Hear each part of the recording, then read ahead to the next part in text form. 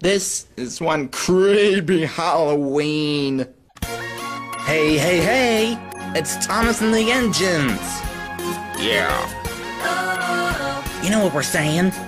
Yeah. Kinda weird. The evil queen has poisoned Princess Snow White. We don't know how she died, but there was a way of how she did.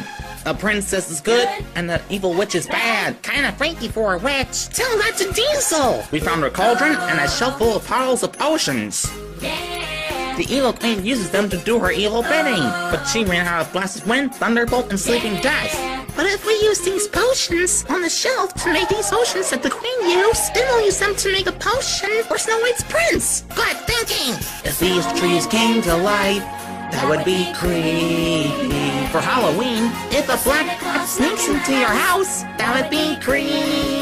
On Halloween, it's really weird fitting a big beard on some engines like us.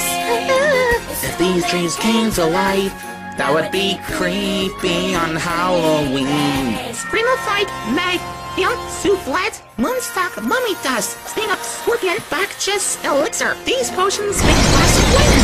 Sunstock, dark of night, cactus juice, plain bad stuff, blast of wind, incarnation pills, make thunderbolt, Morbius ring, sting of scorpion, dark of night, cactus juice, thunderbolt, and a green apple make a sleeping death. If these trees came to life, that would be creepy. For Halloween, if a black cat sneaks into your house, that would be creepy.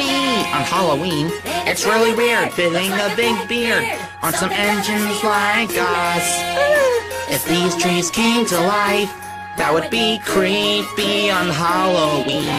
If these trees came to life, that would be creepy for Halloween. If a black cat sneaks into your house, that would be creepy on Halloween. It's really weird fitting a big beard on some engines like us. If these trees came to life, that would be creepy on Halloween. Do not do this with your family at home.